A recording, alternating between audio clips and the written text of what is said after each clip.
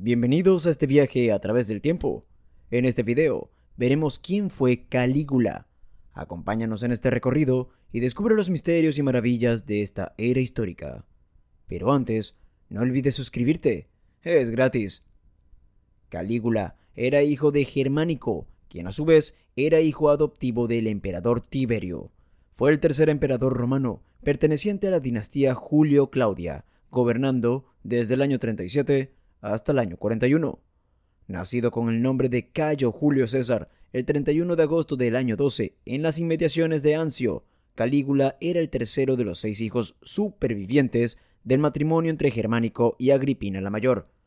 Sus hermanos fueron Nerón y Druso, y sus hermanas Julia Lívila, Julia Drusila y Agripina la Menor. Por parte de su padre, era sobrino del futuro emperador Claudio.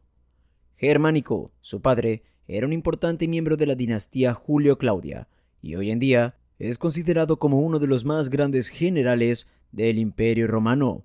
De niño acompañaba a su padre en sus expediciones militares por Germania, donde se calzaba con las caligas de los legionarios, quienes le dieron el sobrenombre afectuoso de Calígula. Tras la muerte de su padre envenenado por rivales políticos, tuvo que consolarse dedicándose a su caballo, al que posteriormente, ya como emperador, llegó a otorgar un cargo político y se trasladó a vivir a Roma con su madre hasta que las relaciones entre ella y Tiberio se deterioraron. El emperador no podía permitir que Agripina se casara, por miedo a que su marido se convirtiera en un posible adversario político, y ella y Nerón César fueron exiliados en el año 29 bajo cargos de traición. Se envió a Calígula, que por esa época era un adolescente, a vivir con su bisabuela y madre de Tiberio, Livia. Tras la muerte de Livia, fue acogido por su abuela Antonia. En el año 30, Druso César fue encarcelado y Nerón César murió en el exilio. No se sabe si por inanición o suicidio. En el año 31, Calígula pasó a formar parte del séquito de acompañantes de Tiberio en Capri, donde el joven permaneció durante seis años y allí, para sorpresa de la mayoría, se reconcilió con el emperador. Para el año 33, Tiberio le concedió el cargo de cuestor, puesto que conservó hasta su nombramiento como emperador, y en el año 35, Calígula y Tiberio Gemelo fueron nombrados herederos del trono. Cuando Tiberio falleció el 16 de marzo del año 37, su posesión y títulos adquiridos, tales como príncipes, fueron transferidos a Calígula y al nieto de Tiberio, Gemelo. A pesar de que Tiberio tenía a su muerte 77 años, algunos historiadores mantienen que fue asesinado por Macro, amigo de Calígula, que lo asfixió con una almohada, a fin de garantizar el ascenso de Calígula. Respaldado por Macro, Calígula fue aceptado emperador en solitario al anularse el testamento de Tiberio, alegando demencia de éste al otorgarlo. Así, el 18 de marzo, el Senado proclamó a Calígula como único emperador de Roma. Los primeros actos de Calígula como emperador fueron generosos con el pueblo y el ejército. Concedió a la Guardia Pretoriana y a las tropas urbanas y fronterizas una generosa recompensa por los servicios prestados a fin de ganarse el apoyo del ejército. Destruyó los documentos en los que habían quedado registrados los nombres de los acusados de traición durante el mandato de Tiberio. Ayudó a los afectados por el sistema imperial de impuestos, desterró a los delincuentes sexuales y celebró lujosos espectáculos, tales como combates de gladiadores, ganándose así el apoyo del pueblo. Debido a sus excesos como emperador, Calígula cayó gravemente enfermo en octubre del año 37.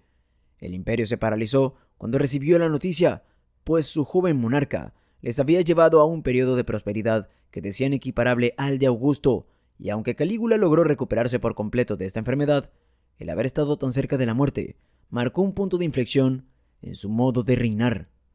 Si te está gustando el video, no olvides darle like y suscribirte. Lo primero que hizo fue asesinar a varias personas que habían prometido sus vidas a los dioses si el emperador se recuperaba. También forzó a suicidarse a miembros de su familia, como su suegro y su primo, Tiberio Gemelo, debido a un imaginario e inexistente complot contra él. La política de Calígula, marcada por la generosidad y la extravagancia, agotó las reservas financieras del imperio, los historiadores antiguos afirman que Calígula reaccionó acusando falsamente a algunos senadores y caballeros para multarlos e incluso ejecutarlos con el propósito de apoderarse de su patrimonio. pedía dinero al pueblo en los actos públicos, estableció nuevos impuestos en los juicios, bodas y prostíbulos, e incluso los testamentos de ciudadanos romanos que habían dejado sus bienes a Tiberio fueron reinterpretados a fin de que Calígula recibiera dichos bienes. Militarmente, el reinado de Calígula estuvo marcado por la expansión de las fronteras del imperio a través de la anexión de la provincia de Mauritania y por el inicio de los preparativos para la conquista de la isla de Britania. Durante su reinado, Calígula tuvo que hacer frente a una serie de revueltas y conspiraciones con origen en las provincias orientales. El emperador recibió para esta tarea la ayuda de su amigo Herodes Agripa, a quien convirtió en gobernador de los territorios de Batanea y Traconítide. Los historiadores modernos han tratado de atribuir una razón médica a su inestable carácter, alegando la posibilidad de que padeciera encefalitis, epilepsia o hipertiroidismo. Igualmente se habla de adiatrepsia, una palabra griega que el emperador aplicó a fin de describir su propia conducta. Sobre Calígula, las fuentes supervivientes ofrecen un importante número de historias que ilustran su crueldad y su demencia. Dichas fuentes describen al emperador como un demente irascible, caprichoso, derrochador y enfermo sexual. Se le acusaba de alardar de acostarse con las esposas de sus súbditos, de matar por pura diversión de provocar una hambruna al gastar demasiado dinero en la construcción de su puente y de querer erigir una estatua de sí mismo en el templo de Jerusalén con el objetivo de ser adorado por todos. Se acusó a Calígula de mantener relaciones incestuosas con sus hermanas, Agripina la menor, Julia Drusila y Julia Livila. También se dijo que las obligó a prostituirse y que convirtió el palacio en un burdel. Todas estas acciones del emperador desencadenaron una serie de conspiraciones en su contra, hasta que finalmente se llevó a cabo su asesinato. En el mismo se vieron envueltos los integrantes de la Guardia Pretoriana, liderados por Casio Querea. Aunque el complot fue planeado solo por tres hombres, parece ser que muchos senadores, soldados y équites estaban al tanto del mismo y, en cierto modo, involucrados. El 24 de enero del año 41, Querea y unos pretorianos abordaron a Calígula mientras el emperador se dirigía a un grupo de jóvenes actores que participaban en unos juegos. Querea fue el primero en apuñalar al emperador, seguido por el resto de conspiradores.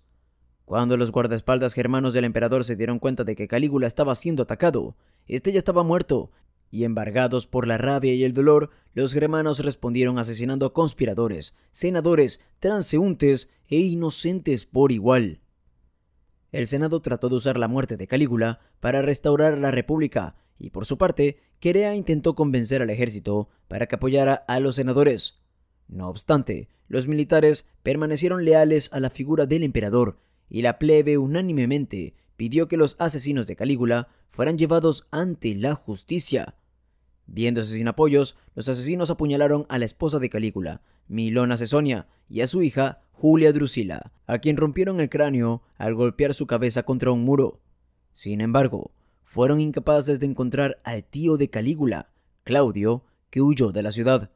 Tras haberse asegurado el apoyo de la Guardia Pretoriana, Claudio fue nombrado emperador, y nada más acceder al trono, el tío de Calígula ordenó la ejecución de los asesinos de su sobrino.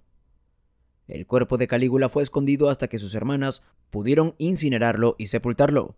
Permaneció en el mausoleo de Augusto hasta que en el año 410, durante el saqueo de Roma, sus cenizas fueron dispersadas. Si te gustó este video, no olvides suscribirte y activar las notificaciones para ver más contenido como este.